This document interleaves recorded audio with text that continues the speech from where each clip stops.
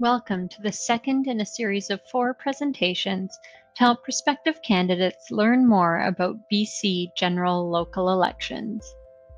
Who are the participants in BC local elections? This presentation will introduce you to some of the roles and organizations involved in local elections, including electors and candidates, candidate representatives, elector organizations, and third-party sponsors. The participants most people are familiar with are electors, or the people voting in an election, and candidates, the people running for local office.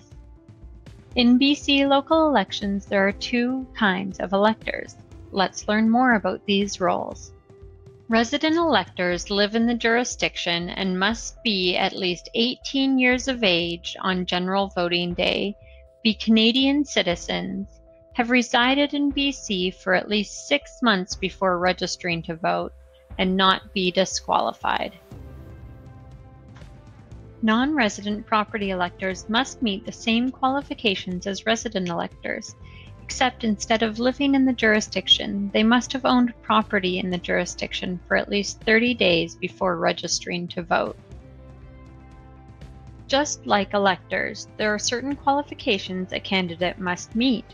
In addition to these legislated requirements, there are a number of considerations for potential candidates to keep in mind.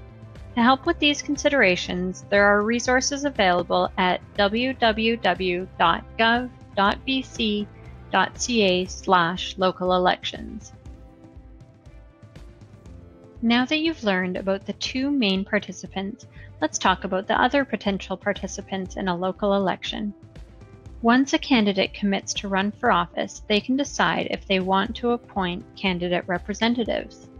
Most importantly, candidates must have a financial agent. A candidate is their own financial agent unless they appoint another individual to the position. The appointment must be signed and submitted to the local chief election officer before the nomination period ends. Go to Elections BC's website for information about the financial agent's roles and responsibilities. Candidates may appoint an official agent to represent them during the election process. The official agent can act as the campaign manager, a spokesperson, or be the point of contact for people helping with the candidate's election campaign. Appointments must be made in writing and given to the local chief election officer. Candidates may choose to appoint scrutineers to observe voting procedures and ballot counting. Check with the local chief election officer for more details. Candidates may enlist volunteers to help with their campaign. There are limitations to who or what is considered volunteering. For example, a volunteer that works on a candidate's campaign must not receive any payment or remuneration for their services. Now let's learn about another participant, elector organizations, which are regulated under the Local Government Act and the Local Election Campaign Financing Act. Elector organizations are generally found in larger municipalities. They endorse candidates in local elections. Elector organizations file endorsement documents with the local chief election officer in order to have their name or acronym on the ballot beside the candidate they endorse. Elector organizations must have a membership of at least 50 eligible electors. For more information, check out the resources available online. Third-party sponsors are individuals or organizations that sponsor advertising independently of a candidate or elector organization during the campaign period. Third-party sponsors are not part of the candidate's campaign.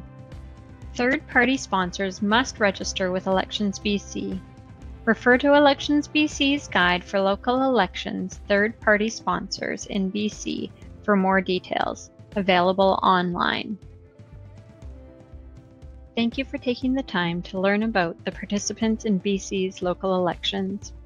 Please view the other presentations in this series and see the other resources that are available on the Ministry of Municipal Affairs and Housing's web pages.